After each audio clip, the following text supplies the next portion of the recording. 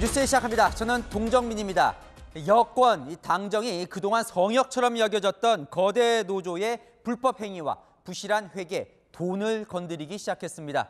먼저 노조의 불법 행위에 칼을 빼들었는데요. 그 초점은 자기 노조 직원을 우선 채용하도록 강요하거나 불법 행위를 해놓고도 이 경찰 조사에도 응하지 않거나 이런 부당한 노조 갑질을 막- 막는 법 개정에 맞춰져 있습니다. 먼저 김호영 기자가 보도합니다.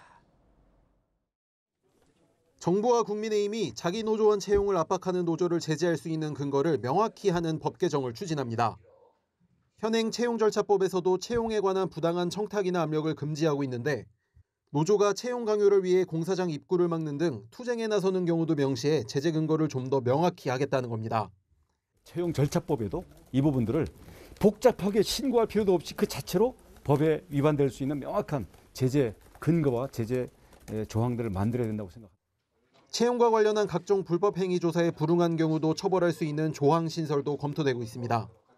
크레인 기사들에게 장비 대여료나 임금과는 별개로 월 600에서 700만 원씩 월례비로 지급되는 관행을 불법 행위로 법제화해 면허를 취소하는 방안도 추진합니다. 국토부는 불법 행위 전담 대응팀도 구성해 내년 6월까지 경찰과 함께 특별 단속에 나설 방침입니다. 당정은 정부가 고용 허가를 내줘야 취업할 수 있었던 외국인 근로자 허가 제도도 폐지해 공사 현장의 인력 수급을 원활히 하기로 했습니다. 채널A 뉴스 김호영입니다.